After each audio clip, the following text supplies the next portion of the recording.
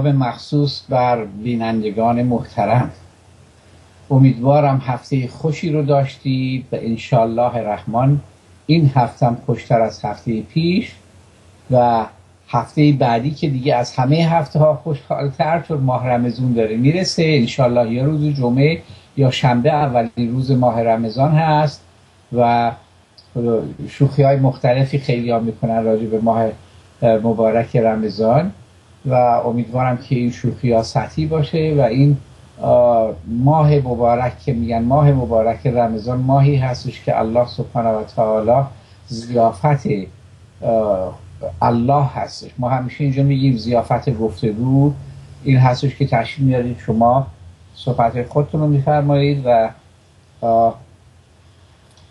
زیافت الله سبحانه و تعالی در ماه رمضان شروع میشه و در این ماه هستش که عده زیادی به عبادت اون عبادت هایی که قبلا در روزهای معمولی می‌کردن اضافه می‌کنن سعی می‌کنن قرآن رو در تمام این ماه مرور بکنن و تموم بکنن. و البته خب می‌دونید فهمیدن قرآن چیزی نیست که به این سادگی ها بتونید در یه ماه همه چیز رو بفهمید. حتی کتاب های معمولی رو هم خب نمی‌تونید. ولی الله سبحانه و تعالی انقدر مهربان هستن که تو این ماه برای هر کس به اندازه وسع خودش یه سهمی رو الله سبحانه و تعالی میدن. و از ماه رمضان که اومدید بیرون یک دید مختلفی نسبت به خود خانواده خود محل خود دوستان آشنایان هم شهری هم مملکتی هم دنیایی خود دارید.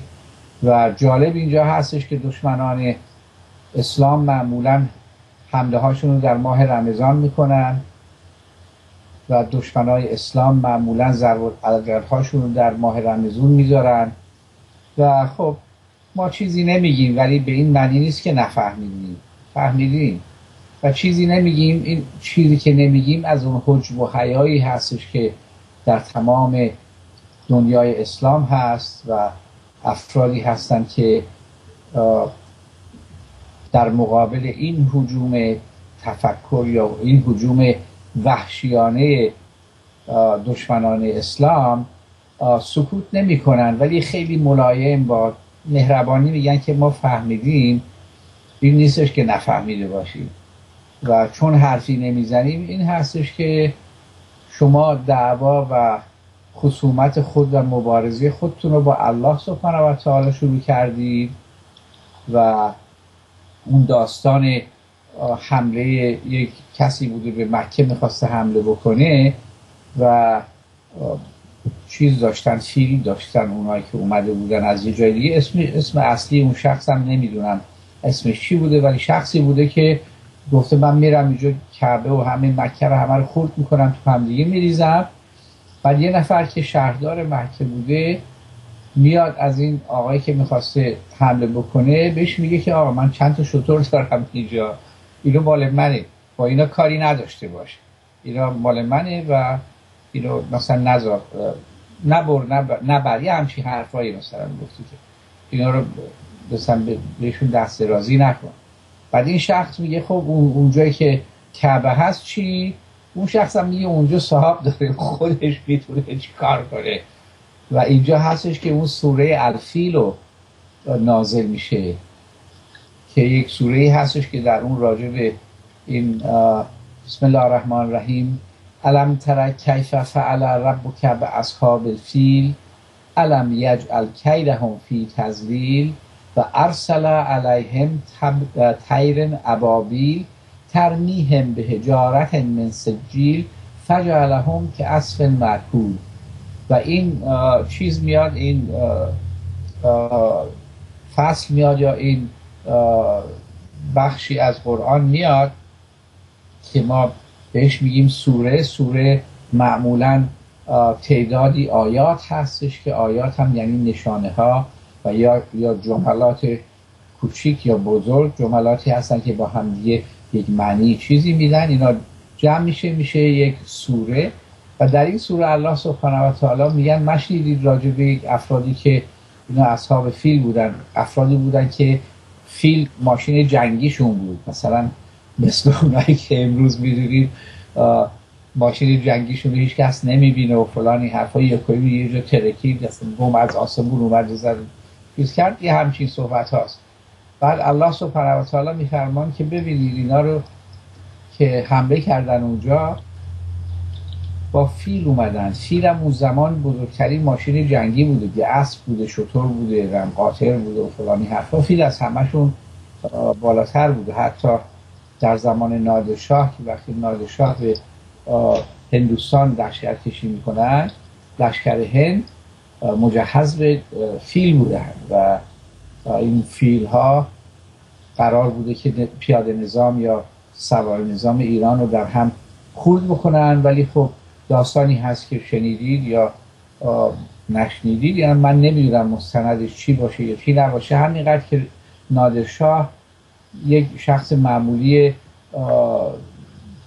دانشگاه رفته نبوده. یه نبوغی داشته. الله سبحانه و تعالی بهش کمک می‌کرده. بعد این تصمیم می‌گیره که یک پاتک نظامی بزنه و این پاتک نظامیش این هستش که میاره تمام شطورهایی که داشته که مواد آزوغه و چیز هم می‌کردن یا تمام مهمات جنگی مشون نادرشاه رو هم می‌کردن میارن سطح جلو. بعد نادرشاه دستور میره روی این قلمبه هایی که روی شطورها هست که اونجا محل ذخیره چربی و آبه که یک شطور می‌تونه مثلا سی روز توی صحرا بره بدون که چیزی بخوره یا چیزی بیاشامه. این ذخیره اون بالا هست. و میگه دور این یه چیزایی درست می‌کنن و توش مقدار آتیش میریزن. این آتیش همین که یواش یواش میسوده به پوست این شطورا می‌رسه این شطورا ماشاءالله یه کوی رم بکنن خیلی قیافه وحشتناکی پیدا می‌کنن. من ندیدم تا حالا خب انشالله قسمت بودم نشه که ببینیم به همچی بود. بعد این تمام این اسب ها به طرف قشون هند که همشون سطح مقابلشون مثل, مثل تانک های اون زمان بوده فیل بوده. این شطورها با این صدای بلند و جیغ و ویغ و نهره که که میکشیدن به طرف فیلا. این فیلا تاله همچیزی ندیده بودن. از ترسشون میچرخن و رم می‌کنن به, روی لشکر خود هند. همه رو خورد می‌کنن خورد و خاکشید می‌کنن که نادرشاه با یک تلفات خیلی کمی وارد هندوستان میشه و بعد بقیه داستان ها رو هم می‌دونید که می‌پرسن شما پدرت کی بوده؟ میشه از پدرم شمشیر بوده پدر اونم شمشیر. از این صحبت. و در همین جهت هستش. سلام عرض کردم بفرمایید خواهش می‌کنم. بله. شما ما صحبت فیل و شطور می‌کنیم. اون کوچولوها رو را نمی‌دادن. یا الله. چقدر من دوست دارم این شخص رو که خنده لب به لب ما خنده میاره بنده خدا تقصیر خودش هم نیست. صدای اون رو در میاره که خودشه. یا الله کریم ببخشید. به هر حال به هر حال. بله نادرشاه با این فیلهاش تمام این از تمام این ببخشید نادرشاه با شطورهاش تمام این افراد رو رم می‌کنه تمام فیل های قوای هندوستان و شاه نادشاه بدون تلفات زیادی وارد هندوستان میشه. و تشکر می‌کنیم از تلفن شما که شما اون چارپایی رو که اونجا نبود صداشو در آوردید و الحمدلله سفارایی حیوانات کامل شد. الحمدلله رب تشکر زیاد. به هر حال همین قضیه هم در مکه داره اتفاق میفته. اون شخصی که قصد انهدام و نابودی مکه رو داره با یک مقدار فیل و اینطور چیزا آمده جلو و سعی داره می‌کنه که اونجا رو خراب بکنه که این آیات میاد که اینطوری گفته میشه که آیا شما شنیدید راجع به افرادی که با فیل اومده بودن به طرف مکه که اونجا رو خراب بکنن و اینها فکر می‌کردن که نقشه شومی می‌تونن داشته باشن برای برای مکه ولی قافل از اینکه الله سبحانه و تعالی که خالق همه چیز هست هر چی هست و نیست. حتی اون چاربایی که صدای دو پایی که چاربار صدای چاربار رو در بیاره و حتی چارپاهای دیگه که ممکنه صدای اون آقا رو در بیارن.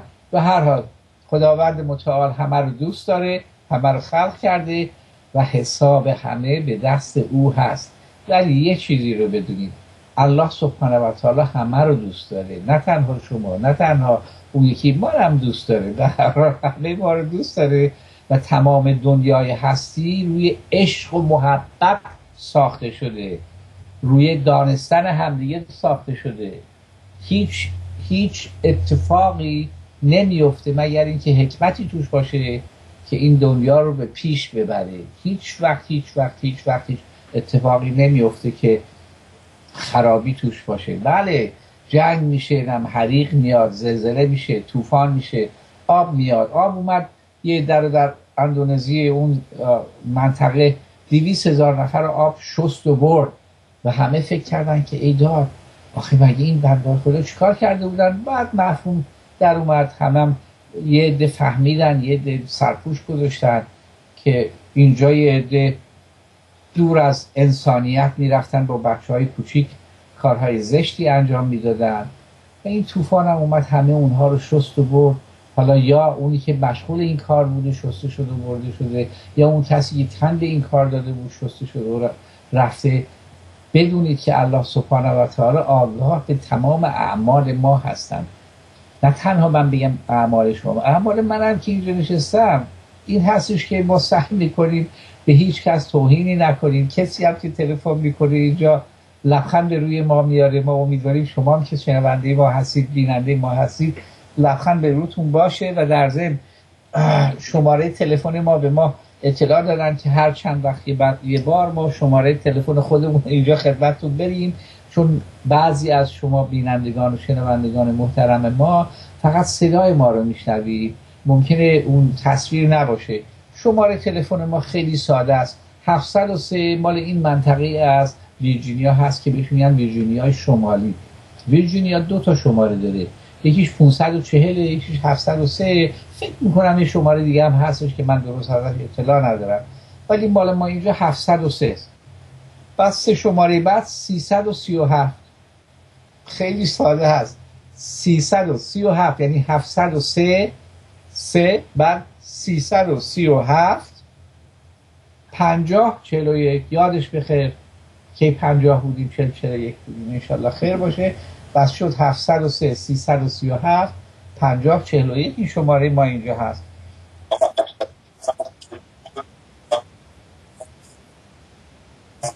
بله بله بله. ما شمال شمال ویرجینیا که اینجا هستیم بهش نورد ویرجینیا میگن. مال ما هست 703 الحمدلله. بله خلاصه. تمام این فیل ها که می‌خواستن حمله بکنن الله سبحانه و تعالی پرنده هایی رو فرستاد که هر پرنده ای در چنگالش پرندن خب دو تا پا که پرواز می‌کنه اینا چنگال میشن دیگه. دیدید اون چنگالی که یکی تیر تو دستشه یکی نمی چیز دیگه دستشه. عقاب مال پرچم امریکا هست چنگالاشو دیدید یه همچین چیزایی بودن که تو هر چنگالی یک کودی بوده. سجیل یه عده میگن یعنی سنگ. سجیل از همون سجل میاد. مثلا اسم من حسن اجلالی این سجیل منه سجل منه. یعنی شناسان منو میشناسونه که بر اسمم کیه کجا به دنیا آمدم پدرم کی بوده مادرم کی بوده همه اینا. سجیل. هر کدوم از اینها تو چنگالشون یه چیزی بوده که نشانه اونجا که باید بخوره توش بوده. مثل موشک های کوچیک بوده. دستی کارا من میگم میخندم. واقعا خنده نداره. ولی اینطوری هستش دیگه. الله سبحانه و تعالی اینها رو میفرسته. این موشک های کوچولو یا این سجیلی که دست این چنگال این پرنده ها بوده میره پایین درست می‌خوره تو مغز هر یکی از این فیلا بعد فیل به اون گندگی مثل علف خوش اینطوری میفته پایین. آخه فیل به اون گندگی با یه چیز سجیل می‌زنه میاد میاد پایین. مغز اون کله فیلم خیلی خیلی محکم و خیلی زخیم هست. حتی شما دیدید بعضی وقتا تو بعضی از این فیلم هایی که فیلا رو نشون میدن چطور یکی با پت تو سرشون داره می‌زنه اینطوری تق و تق می‌زنه که این فیله حرف این شخص رو گوش کنه. پتک داره تو سرش می‌زنه. چطور شده که یه اینطور سجیلی بیاد اینطور قشنگ بخوره تو سرشون محکم بره؟ تو مغز حالا ممکنه یه جایی باشه تو سر فیل که ممکنه یه گشایشی باشه چیزی باشه که درست این سجیل یا اون نشانه ها درست خورده اونجا رفته به مغزش و اینا همه تلف شدن.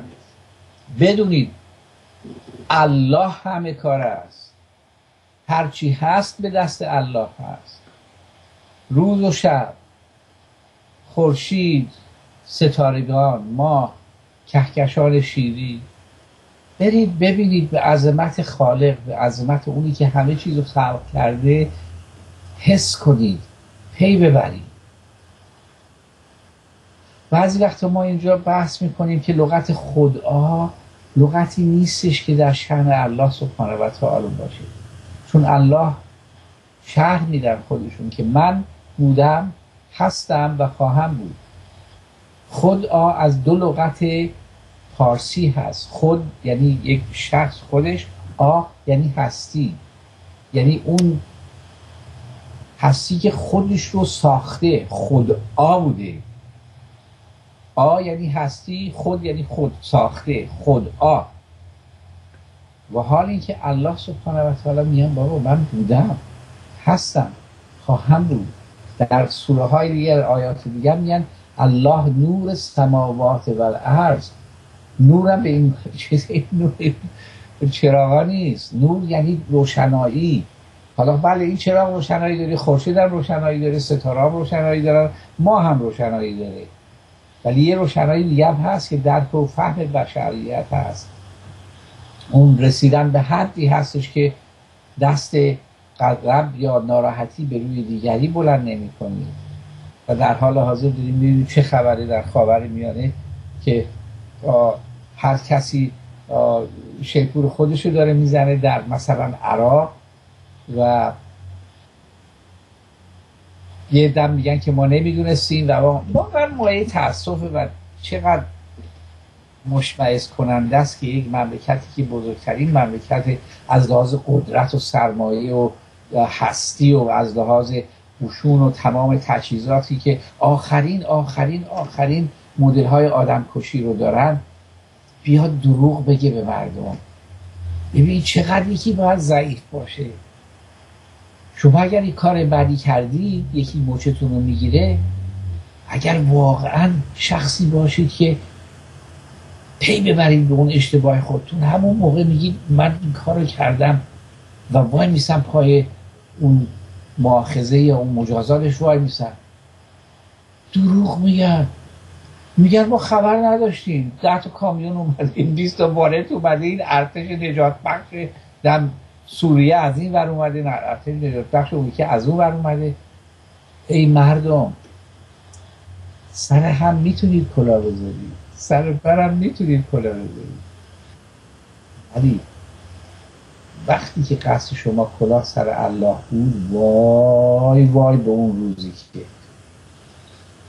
الله سبحانه و تعالی درس عبرتی به همه بدن همونطور که اون اصحاب فیل درس عبرت گرفتن که چطور تمام این فیل ها در یک نیم ساعت یا بلکه کمتر یا بیشتر اونایی که علاقه من هستید برید پژوهش کنید به ما اطلاع بدید که فلانی رفتیم و پرسیدیم و گفتن بله این مثلا سه روز جنگ سه روزه بوده در سه روز اینقدر فیل از پای افتادن و با این سجیل ها حالا هجارت من سجیل چی بوده چی نبوده حالا اونا تفسیرات مختلف برای خودش پیدا بوده ولی در حال حاضر نقشه چی هست؟ آقای برنارد لوئیس 60 سال پیش نقشه کشید که حتما حتما حتما حتما خاور میانه باید تقسیم بندی بشه و تقسیم بندی هاش روی اصل قومی و ایالت نه. اون افرادی که هم زبان هستن هم قوم هستن و مثلا گفتن کرد های جا عرب های جا نم یکی قافل از این که خود کرد هایی هم که میگیم کرد اینا همه از یک قوم نیستن. بله اسمشون کرد هست. ولی هر کدوم از یک ریشه هستن. قوم, قوم کرد های ایرانی با قوم کرد های عراقی با قوم کرد های ترکیه ای فرق می‌کنن اینا. حتی این زبان ترکی م... م... ببخشید کردی مستقل با هم ندارن. سه تا کردی به هم فرق می‌کنه. اونهایی که خب در ایران زندگی کردن اونهایی که خب در مناطق مختلف ایران زندگی کردن میدن. مثلا گیلکی در شمال صحبت میشه. خوزستانی در جنوب صحبت میشه. نم آذری در شمال غرب صحبت میشه. مشهدی در شمال شرق صحبت میشه. و تهرونی هم همه جا صحبت میشه. الحمدلله یک زبان مشترک الان داریم که زبان فارسی هست که همه جا صحبت میشه. و این آقای برنارد لوئیس برید ببینید چی گفته این 60 سال پیش. که داره سعی می‌کنه همون چیزها اتفاق بیفته و در همون جهت باشه. و ما یک ایمیلی به دستمون رسیده که ما اینو انشالله می‌خونیم براتون که شما بالاخره آگاه باشید. قبل از اینکه این خبرهای اینطوری رو بگیم یه خبر خیلی خیلی خیلی خیلی خوبی هست که بعد از سالهای سال پول خرج شده خون داده شده زحمت کشیده شده. تمام مردم ما در صحنه وایسادن گفتن استفاده از انرژی صلح آمیز هسته حق ماست. دو روزه که این حق به ثمر رسیده و در حدود چند مگاوات اینجا نوشتن؟ هزار مگاوات برق هزار مگاوات؟ خب مگاوات فکر می‌کنم یه میلیون وات باشه. هزار تا مگاوات؟ نمی‌دونم این میشه یه تریلیون. میشه چقدر میشه اونا که می‌دونید به ما اطلاع بدید که چقدر هست. یعنی مقدار زیادی برق هست که به شبکه سراسری برق ایران داره وارد میشه و این اینطوری گفته میشه. بدید ما اینو بیاریم و با هم بخونیم. بله.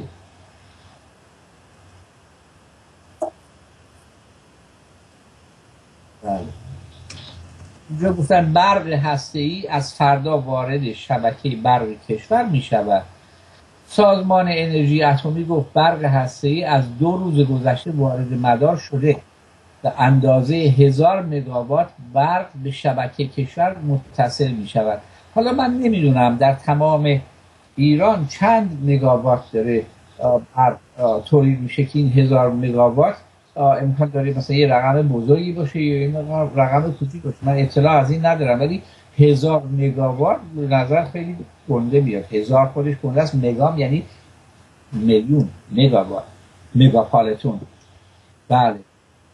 بعد پس از دیدار دیدار با سفیر چند کشور فکر کنم روسیه باشه و وزیر امور خارجه و این حرفا در روز یک چند روزی این سفر بوده و صحبت شده در اینجا گفتن که بله که بالاخره فردا که این تاریخ حتما داره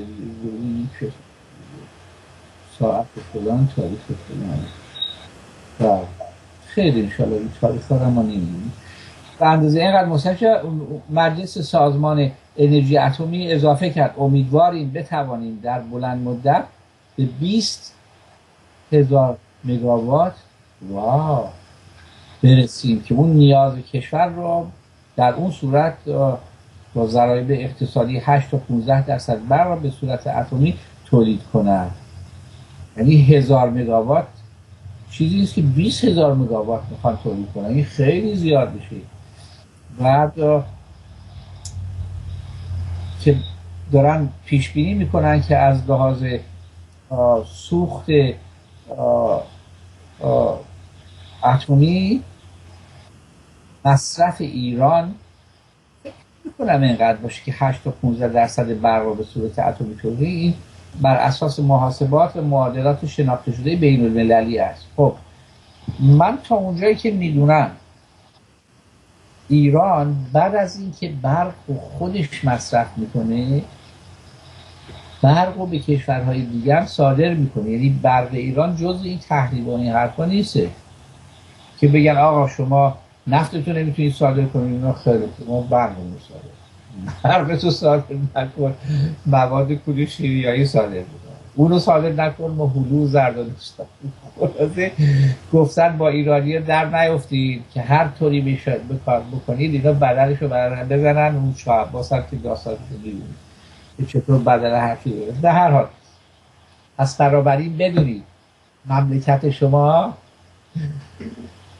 داره برق تولید می‌کنه. مازاد برق شد که همسایه هاش میفوشه همه در دست چپ همه دست دست راست همه در شرق, امریکا، شرق آسیا که پاکستان و افغانستان و اون و تاجیکستان و ترکمنستان و قرقیزستان و قفقاز و همه اینا اون طرف هست. که مثلا شب ساعت دو نصف شب که در ایران همه خوابیدن اونجا همه بیدار شدن برقی که اینجا تولید میشه از آن اونها رو میگه بهشون. الله اکبر رو بر اونها میگه. بعد ایران که مصرف می‌کنه بعد میده به این بغل دستیش عراق. از اون ور میره به ترکیه از اون ور میره تا اوکراین و اونورا میره مثل که برق ایران. اونایی که می‌دونید باز دوباره به ما بگید. دستی کم نگیرید مملکت خودتون رو. ایمان داشته باشید به مملکت خودتون به ملت خودتون. ایمان داشته باشید.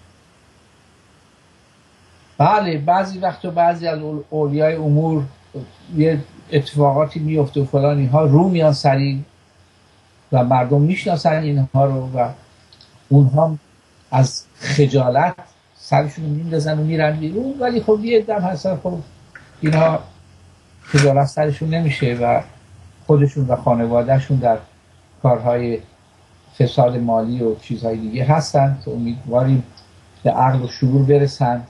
که بیشتر از این صدمه به اون ملت نزنن به اون ملتی که در تمام مدت در صحنه حاضر هستن. به هیچ وجه آخ نگفتن تا حالا. هر جو چلوندن اینا گفتن ما هستیم. هر جو چلوندن گفتن ما هستیم. سعی کردن ریشه این انقلاب رو بکنن نتونستن. سعی کردن هر کاری از دستشون میاد بکنن این کار رو بکنن نتونستن بکنن. و ناکام موندن. و حالا این قضیه عراق داره پیش میاد. بله ما این یه ذره دیگه می‌خونیم راجع به این تولید 20 هزار ماه بر بله نمیشه در بلند, بلند مدت شرکت برق هسته ایران می‌خواد به هدف تولید 20 هزار مگاوات برسه که میان در میان مدت نیاز است. با در نظر گرفتن ضرب اقتصادی درصد برق صورت داره. این خونی. با اشاره به مزارکه صورت گرفته با مدیر عامل شرکت دولتی روس اتم در, در خصوص ساخت نیروگاه های بوشه افزود که بحث های فنی تجاری حقوقی مذاکره تقریبا پایافت یافته است و بعد از اینکه تمام این چیز امضا میشه تمام این چیزها تحویل داده میشه به ایران به معاونت حقوقی ریاست جمهوری می‌رسه. همه که همه امضا می‌کنن و یه چیزی خریدن و امضا می‌کنن. فلان فلان تحویل داده میشه و میره.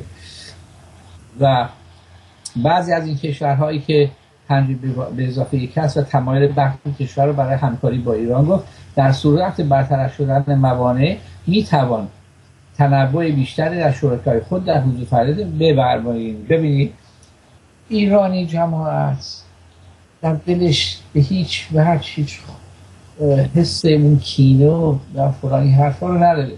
با همه اینکه این پنج به اضافه یک الله سبحانه و تعالی بهشون انشالله رحم بکنه اینقدر بلا سر ما آوردن توی سی خورده سال انقلاب. پنج به اضافه یک پنج به اضافه یک پنج به اضافه یک. ایران داره میگه امیدواریم بعد از اینکه این پنج به اضافه یک چیزشو کشید در رفت از اینجا رفت بیرون یا دیگه ول کرد ما به حال خودمون. ما حتی با شما می‌تونیم همکاری بکنیم. با شما میایم نیروگاه می‌خریم. با شما میایم معامله می‌کنیم. آخه بابا از این مردم ایران بهتر کیو می‌خواید پیدا کنید؟ که آخر هفته روز پنجشنبه جمعه یک یک ذره سبزی جا سبز شده باشه یه سماور و ازش می‌ذاره میشه اونجا کیف دنیا رو می‌کنه حالا تحریم شدن نه فلان. برید ببینید مملکت شما چطور داره آباد میشه. هر روزش که هست. چه در زمان آقای احمدی نژاد چه در زمان آقای خاتمی. و حالا که آقای دکتر حسن روحانی. پس بدونید ملت شما چرخ اون مملکت رو هر روز دارن میچرخونن. اون ساختمونایی که تو تهران می‌بینید اون ساختمونایی که تو مشهد می‌بینید ساختمونایی که در اصفهان و شیراز و تبریز و مهاباد و جاهای دیگه دارید می‌بینید اینا همینطوری قارچ نیست که از زمین در بیاد. اینو مردم دارن می‌سازن. و مردم خودتون دارن می‌سازن. کارگرای خودتون می‌سازن. یک کسی چند روز پیشا به ما یه چیزی راجع به این والمارت گفت. خب من با والمارت بعضی وقتا می‌رفتم شیر میخریدم سر رام بود. جاهای دیگه شیر مثلا بود. پنج دلار ببخشید چهار دلار رو من 80 سنت یا سه دلار رو ببخشید چهار دلار 80 سنت. نه سه دلار و 80 سنت. والمارت میفروخت دو دلار و 50 سنت. خب سر راه بود. سه تا دو تا شیر میخریدیم می‌بریم. تازگی والمارت هم یه رون کردیم. چند روز پیش یکی یه صحبتی می‌کرد می‌گفت می‌دونی که والمارت برنامهش این هستش که کارمندایی رو که داره یه حقوق خیلی بخوردنی رو به اینا میده که این حقوق انقدر باشه که اینا از اون سطح فقر زیر اون سطح فقر شهر داده شده امریکا باشه. مثلا امریکا گفته هر کس از 25 هزار دلار در سال کمتر می‌سازه و چهار نفر آیل هست خودشو همسرش و دوتا بچهش اون میشه سطح فقر. خب؟ والمارت هم با کمال هوشیاری و حق بازی افرادی که انتخاب می‌کنه اینطوری که زیر اون خط فقر هستن. خب؟ حالا شما برای والمارت کار می‌کنید. زیر خط فقر هم هست. دولت امریکا هم برای اونایی که زیر خط فقر هستن یک دفترچه های کوپون هست بهش میگن فود ستم اونا اینو میده. شما با این ستم مثل پول میمونه. ورقه های پول هست می‌دونم فلان هست. میرید فلان فروشگاه و با این ورقه ها گوشت می‌خرید نون می‌خرید آزوغه می‌خرید. فقط گفتن سیگار و مشروب نخورید. نه نخرید. دم یواشکی اینا رو به این میدن. بالاخره دیگه حقوق بازی تو هر سیستمی هست. در ضمن به غیر از اون بهداشت عمومی هم به اینا که زیر این خط فرق هستن تعلق پیدا می‌کنه. خب؟ امریکا فکر می‌کنم هزار تا از این والمارت ها باشه. ما پنجاه تا ایالت داریم. تو هر کدوم از اینا 20 تا والمارت باشه خودش میشه هزار تا نمیشه؟ میشه هزار تا. بلکه هم بیشترن. تو هر کدوم از والمارت هم 700 نفر 500 نفر کار می‌کنن کارگر دارن. اینا معمولا ساعت کارشون هم صبح ساعت 6 تا 12 شبه. بعد جا هم 24 ساعت هست. یعنی دو گروه اونجا کار می‌کنن. یا سه گروه کار. و به همه اینها هم یه همچین حقوق کمی میدن. خوب توجه بکنید. اونهایی که در امریکا هستن و کاری می‌کنن که درآمدشون از این بیشتر هست مالیات هایی که دارن میدن از این مالیات ها این افرادی که برای والمارت دارن کار می‌کنن سوبسید میشن.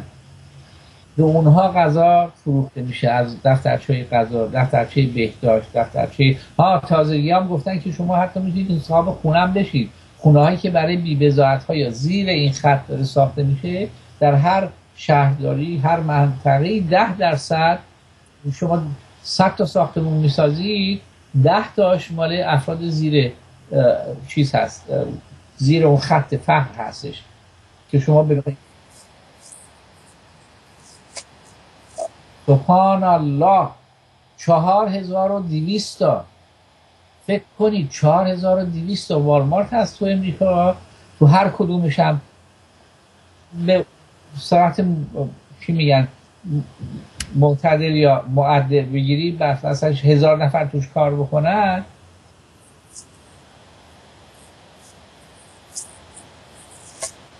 یا الله. یا ببینید چه خبر داره میشه. شیش ممیز دو درصد ببخش شیش ممیز دو میلیارد دلار. یعنی 6 میلیارد دلار تقریبا می‌تونه بودجه یک شهر, یک شهر بزرگی باشه برای این کارا. که به اینا دارن سوبسید میدن. امریکا داره میده. برای جایی که به نام والمارت هست که شما میرید خرید می‌کنید. و این پول 6 میلیارد دلار هم حالا 6 میلیارد دلار زیاد نیست. ولی خب با همه این کدوم شرکتی هستش که اینقدر سابسید داره می‌گیره که کار بکنه و دولت اونو کمک مالی می‌کنه. این والمارت داره این کار می‌کنه. پس بنابراین یه مقدار ما باید آگاه باشیم. چه چه اتفاقاتی داره میفته من واقعا متعجب شدم از این تعداد چهار هزار خورده. خیلی زیاده. من فکر هزار تا ممکنه باشه. چهار هزار تا والمارت داریم تو و این فجایع داره انجام میشه و این چیزها داره پیش میره اینطوری. واقعا مایه تاسف بعد بعدم که بینا خونم می‌خوام بدن از ده درصدی که عرض کردیم خدمتتون به اونا خونه میدن. خب مانعی نداره همه باید یه جایی داشته باشن زندگی بکنن. ولی یه حالتی هستش که هر دفعه یکی می‌گفت اینجا یک مملکت سوشالیز سوشالیزم لغت های فارسیشو نمی‌دونم که یک جایی هستش که مثلا تمام مملکت درآمدش میره یه جا از اونجا پخش میشه بین همه. خب؟ اینجا اونطوری نیستش. درآمد تمام مملکت 99 درصدش میره یه جا. یا 95 درصدش میره. 5 درصدش میاد پخش میشه بین بقیه. و این اختلاف سطح و اختلاف طبقاتی به شدت داره در محله های مختلف دیده میشه. بین مردم داره دیده میشه. بین افراد دیده میشه. و این عکس عمل بعضی از این جوان هایی که میرن یکی رو می‌کشن یا میرن یه کارهای بد می‌کنن. واقعا مایه تاسف هست که چطور امکان داره یک مملکتی که از لحاظ آب و هوا از لحاظ منطقه جغرافیایی دو طرفش دو اقیانوس بزرگ هستش. تمام این نعمت هایی که الله بهشون داره میده. اینجا شما دو بار سه بار می‌تونید برداشت کنید در بعضی جاها که مردم چیز میکارن. دو بار یا سه بار می‌تونن برداشت کنن. کجای دنیا می‌تونید این کارا رو و ببینید چطور دارن به مردم دنیا زور میان به مردم دنیا اینقدر اشفاق می‌کنن برم میگن ما نمی‌دونستیم. نقشه تصفیه و تقسیم عراق می‌کشن. بعد که داره تموم میشه میگن ما نمی‌دونستیم. یه کوی ما متعجب شد آیداد می‌داد اینو کی آورد؟ کی برد؟ بیایید این ور اون ور. خیر انشالله بله. دیدم که این راجع به چیز هسته ای بودش که ایران حتی داره میگه با همه این که شما پنج به اضافه اینقدر به ما دارید ظلم می‌کنید اینقدر ما رو دارید این اون ور صدمه بهمون می‌زنید بعد از همه این کارا که تموم شد انشالله ما می‌تونیم با شما معامله کنیم از شما می‌تونیم صنایع اتمی از شما بخریم. خود ایران یک چند وقت پیشا دو سال سه سال پیش بود گفتن اگر کشورها به ما نفروشن این ریاکتورها رو خودمون می‌سازیم. سبحان الله این آفتابه نیست که ساده بشه یه چیز باشه یه لوله وصل کنید یه دسته وصل کنید جنراتور اتمی هستش که خیلی خیلی پیچیده تر خیلی خیلی حساب باید توش بشه که بتونن یه همچیزی بسازن. و البته خب دنیای خارج از ایران حاضر نیست که ایران بتونه یک ریاکتور خودش بسازه که یاد بگیره. بعد بفهمه که مثلا شما اگر یک میلیون دلار میدی یه ریاکتور می‌خری این ریاکتور در حقیقت 200 هزار دلار بیشتر خرج نداره. پس بنابراین ایران عوضی که چیزای مثلا پیش پا افتاده درست کنه خب میاد ریاکتور می‌سازه. عوض یه میلیون دلار میفروشه 500 هزار دلار. نصف اون یکی ها میفروشه. 300 هزار دلار هم تو هر کدومش منفعت می‌کنه یعنی در حال حاضر هیچ کس هیچ مملکتی هیچ جایی هیچ کشوری هیچ قومی نمی‌تونه بگی این علم و دانش مختص منه. نمی‌تونی دست بهش بزنی. خب؟ وقتی می‌رسن به اونجا می‌بینن بله ایران می‌تونه یه همچین کاری بکنه. می‌تونه این کارو بکنه. می‌تونه اون کارو بکنه. دارن میگن ها چون این کارو کردیم ما می‌تونیم تحریمت کنیم. مردم تو انقدر گرسنه نگه داریم. انقدر تو سرشون بزنیم که شروع کنن به انقلاب کردن انقلاب دوباره.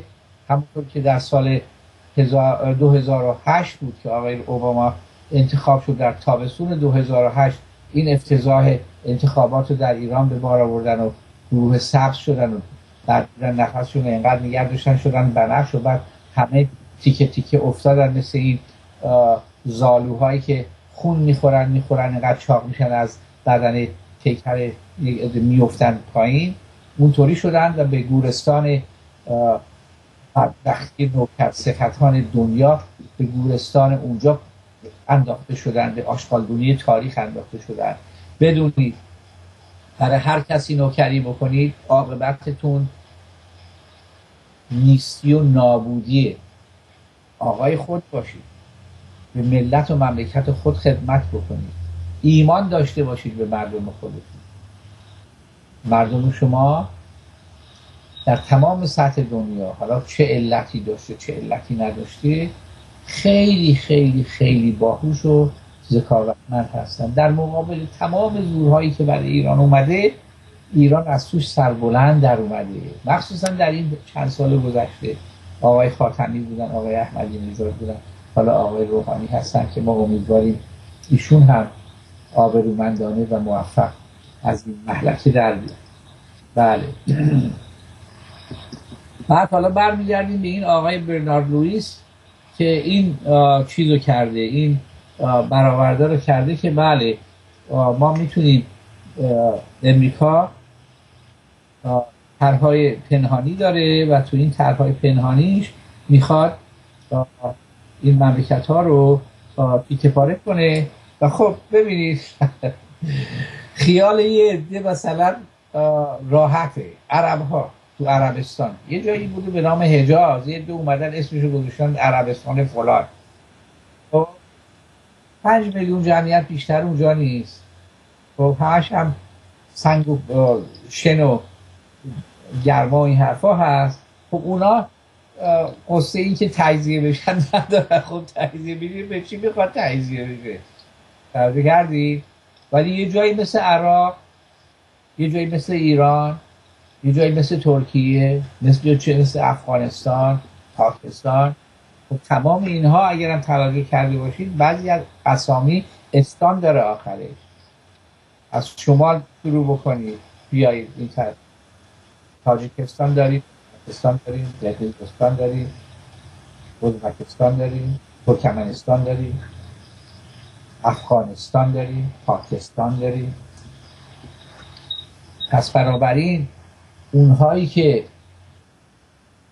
تو دلشون جز نفرت و جز بدخواهی برای ملت ما ندارن برای دولت ما ندارن برای اون مردمی که در صحنه ها حاضر هستن برای اون مردمی که رأی میدن دولت انتخاب می‌کنن شما ای برادران و خواهران در تمام زندگی خودتون مؤمن باشید به اون جایی که به دنیا اومدید حتی ما اون افرادی که حالا بچه های ما نوه ما خب اینجا دارن به دنیا میان. ما نگران حال اینجا هستیم که در آینده چه خواهد شد. پس بنابراین ایمان داشته باشید به ملت خود. ایمان داشته باشید به مردم خود ایمان داشته باشید به مردمی که در صحنه حاضرن رأی میدن و احترام بگذارید به حق و حقوق. البته خب ما میگیم آقای روحانی با 50 درصد یه ذره بیشتر رئیس جمهور شدن. یعنی یک موج خیلی بزرگی نبوده. موج خیلی کوچیکی بوده. حالا اونها بمانه صحبت های سیاسی ممکنه زیاد مناسب نباشه. بعضی ناراحت میشن که چرا این حرف رو زدید؟ آقای روحانی خب ما میگیم بابا اینقدر مگه بیشتر رأی نبوده؟ رأی ها رو ببینید چی بوده. چون پنجاه به اضافه مثلا دو درصد. دو درصد. حتی پنجاه یک درصد هم نبوده رأی آورده و ما امیدواریم ایشون این مسئولیت خیلی خیلی سنگینی رو که به عهده گرفتن بتونن انجام بدن و شونه از مسئولیت خودشون خالی نکنن و دست ملت ایران رو تو پوست گردو نگذارن. مثل اون شخصی که سالهای سال پیش جام زهر رو داد به دست حضرت امام و گفت حضرت امام ما با عراق نمی‌تونیم بیشتر از این بجنگیم فلان کنیم بهمان کنیم. این اتفاق نیفته که ملت ایران حاضر نیستن یک حقه رو دوباره نشون بزنی حتی یه حقه تازه باشه که بتونید اینطوری اخفال بکنید مردم. بله. اومدیم اینجا. Global Research در گزارشی به نقشه های آمریکا برای تجزیه خاورمیانه پرداخت این گزارش همراه گفتگو با مایکل چاسوتسکی استاد اقتصاد دانشگاه اتاوا منتشر شد. اتاوا فکر می‌کنم در کانادا بود. دکتر مایکل چاسوتسکی استاد اقتصاد دانشگاه اتاوا از تحلیلگران به نام مسائل سیاسی و بین در تحلیلی در سایت گوگل Global Research درباره اهداف امریکا از حمایت غیر مستقیم از تروریست ها در عراق نوشته است که آمریکا در عراق اهداف بلند مدت تر از تضعیف یا سردرگمی دولت مالکی در سر دارد و آن تجزیه این کشور به سه حکومت مستقل هست. تو حالا باز ببینید از اینجا ایران چه گیریش میاد که معتقد است که برخلاف آن که در رسانه های غربی تلاش دارند وضعیت عراق را جنگ داخلی یا فرقی میان اهل سنت و اهل تشیع جلوه دهند. این آمریکا هست که در پشت صحنه طراحی و وضعیت ناآرام عراق را ایجاد کرده است. این با اشاره همونطور که ما گفتیم دیگه. ببینید امریکا ادعا می‌کنه که شما اگر از خونتون در بیایید همین الانه. خب؟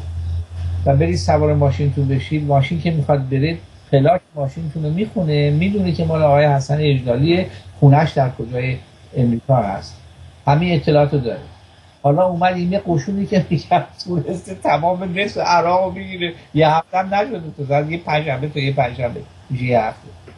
یه هفته نشده من امریکا ما خبر نداشتیم. از کجا اومدن؟ متعجب کرد ما متعجب شدیم آقای کریبوت تو ببین موضوع چه خبره. آقای خودن که شما بود این برای این چه خبره. و آقای اوباما میاد صحبت می‌کنه. ما خیلی ببخشید ما نفهمیدیم چه خبر هست. من باید این بیره این و اون بره آمریکایی ها یک بازی می‌کنن به نام چکر. چکر همون روی صحنه شطرنج انجام میشه. متایه بازی بیشتر نیستش که. هی یا زیگزاگ میره تا می‌رسه به اون ته بعد اون وقت می‌تونه بپره از روی بپره از اون بپره از اون هر کی همه از اون همه پرید اونا رو جمع کرد آخر سر که کسی وایساده اون برنده است.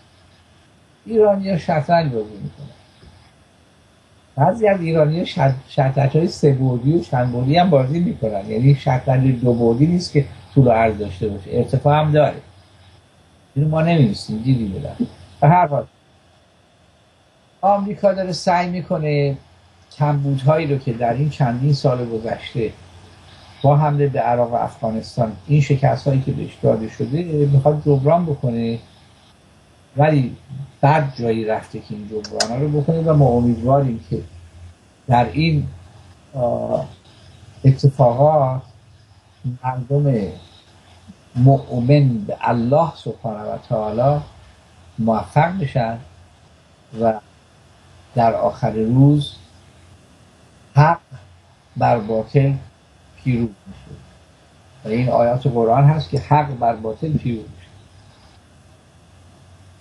بله. بعد اینجا نوشته که با اشاره به سابقه مزدوری القاعده و گروه های وابسته به آن برای آمریکا و ناتو از زمان اشغال افغانستان توسط شوروی تا جنگ سوریه در سال اخیر می نویسد که گروه های تروریستی همچون القاعده و النصره و عملا پیاده نظام غربی ها هستند شما همه اطلاع دارید که یک زمانی در افغانستان روس ها اومدن سال 1980 بود. در دسامبر بود که اومدن وارد افغانستان شدن. وقتی که وارد افغانستان شدن ببخشید. وقتی وارد افغانستان شدن اونهایی که می‌تونید برید ببینید این صحنه رو. سربازای روسی ماشاءالله خیلی قدای بلند چه گندگی. بعد تفنگشون بر یک دونه چوب دندون بود مثل که دستش یه تفنگ گرفته به این انقدری تفنگ اون گندگی انقدری بود. و توی دستش هم درخت سرو دستشون گرفته بودن داشتن می اومدن اونایی که این چیزا رو دیدن گفتن داده بیدن این گوشون اومده که اینجا بمونه. نه فقط بیاد و بره. و موندنشون همون و شکستشون هم همون که امریکا تونست با استفاده از ایمان و جرأت و شجاعت مردان و افرادی که در اون منطقه زندگی می‌کردن با داشتن اسلحه های پیشرفته اون زمان که بهش استینگر بودن هر چی هواپیما بود هر چی هلیکوپتر روسی بود انقدر زدن و انداختن که روسا دیگه مجبور شدن و عقب کنن و بزرگترین ضربه اقتصادی و ضربه روحی گرفتن و در ضمن همراه با اون قیمت نفت ایران هم اومد شد ده دلار و این باعث شد که روسیه که بزرگترین فروشنده نفت اون دور زمان بود و چهل دلار بود نفت در اون زمان هر بشکش بشه در دلار یک چهارم ثروت اینا شد یک چهارم و ورشکست شدن و قسم کاشیدن و همه اینا دستیسه بود که حالیشون نشد. اون آقای گورباچوف درست حالیش نشد که چه خبر هست. بله. بعد اینجا میشن برای برای اینکه این چیزا بشه این افرادی که اومدن اینجا این کارا رو می‌کنن اینا پیاده نظام های امریکا هستن و در ضمن یادتون باشه هر دفعه هر رئیس جمهوری صحبت می‌کنه. هر کسی از طرف ایالات متحده صحبت می‌کنه اول صحبتش اینه که آقا ما به هیچ وجه پیاده نظام هیچ نخواهیم داشت. یعنی چی؟ یعنی پیاده نظام با داریم. اینا رو که آوردی میده ول کردی مثل یه مشوحشی سر یکی رو می‌برن میگن الله اکبر باش فوتبال بازی می‌کنن. اینو میفرستن به تمام دنیا که ببینید ما, ما اینطوری هستیم خلاصه. که سر یکی رو می‌بریم باشم فوتبال بازی می‌کنیم. و این قضیه این هستش که عراق رو به سه که دارن درست می‌کنن که یکیش شمال کرکوک کردستانه یکیش اون قسمت وسطش هست یکیش هم از بغداد تا بصره. خب بصره از بغداد تا بصره تقریبا میشه گفت تحت نفوذ ایران هست. حالا صد درصد یا هر چقدر درصد برقشو میده آبشو میده همه پول تومن اونجا می‌تونید خرج کنید هر می‌دید اقتصاد اون منطقه رو ایران داره اداره می‌کنه با افرادی که میرن کربلا میرن نجف میرن جاهای مختلفی که ائمه اطهار ما اونجا دفن هستن اقتصاد اونجا رو ایران داره میچرخونه. و اگرم تقسیم بشه خب اون یکی که میاد میچسبه به ایران. نفتم دارن تو اون منطقه باید اونجا نفتم هست. میمونه اون یکی که کردستان و اون یکی که از عرب که اون بالا هستن. حالا اگه می‌خواید این کار رو بکنید ما امیدواریم که اینطوری نشه. ما دو دقیقه بیشتر وقت نداریم. یه مسئله ای بودش که یکی به ما گفت کرد که ما دوست داریم راجع به این صحبت کنیم به سیاست این چیزا کار نداره. در زندگی بعضیا که یه ذره سنشون بالا میره یا یک اتفاقی میفته که یک دکتری یا یک, یک بیماری که امکان داره علاج نداشته باشه کسی به اون گرفتار میشه. دکترها هم معمولا سعی می‌کنن تا اونجا که می‌تونن اون شخص رو برای ادامه حیاتش بهش کمک کنن. مثلا سرما خوردید قرص میدن که حالتون خوب بشه. ولی یه عده هستن که دیگه بعد از اون دیگه هیچ کاری براش نمیشه کرد. یعنی اینها نهایت آخرین مراحل زندگیشون هست. حبیب ها میگن. ولی خب ما ایمانمون بر این هست. الله سبحانه و تعالی در قرآن میفرماید که زندگی شما دست منه. اون روزی که به دنیا اومدی تا اون روزی که فوت می‌کنی همه اون دست من هست. یک ثانیه زود میشه نه یک ثانیه دیر میشه خب این ایمان ما هست. حالا برفرض الله سبحانه و تعالی تصمیم گرفت من سرطانی بگیرم که تا مثلا دو ماه دیگه بمیرم. خب معمولا سرطان هم یک مرضی هستش که یک مقدار زیادی رنج و عذاب یه عذاب داخلی هست. انقدر درد دارید انقدر خیلی چیزا هستش با که نگرفتیم حالا ببینید اونا که گرفتن گرفتن بعد یه عده میان اون روزهای آخر رو یا رسما یا غیر رسمی. ما اینو شنیدیم ندیدیم. اون بیمار یک چیزی ورقه رو امضا می‌کنه. یکی میگی مانعی نداره. مواد مخدری یا هر چی هست. انقدر بزنید. که ما زیر اون اون حالت بریم. و تقریبا یک خودکشی یه همکاری خودکشی هست. یه همکاری هستش که اون اتباع و اون افرادی که دور برشون هستن دارن انجام میدن. ما برنامهمون تموم شد. انشالله هفته آینده راجع به این صحبت می‌کنیم. شما هم دوست داشتید با ما تماس بگیرید. خیلی مهمه اینو. صحبت بکنیم و بازش کنیم که ببینیم چه راهی هست. اسلام چی میگه راجع به این چیزها؟ و بتونید زندگی خوبی داشته باشید تشکر می‌کنم از حضور شما و اون افرادی که تونستن زنگ بزنن و اون افرادی که زنگ زدن ما نتونستیم جواب بدیم و ایمیل فرستادید کلی ایمیل فرستادید وقت نشد بخونید. یک دونه تشکر از حضور شما. تا هفته آینده انشالله مرحمت های زیاد.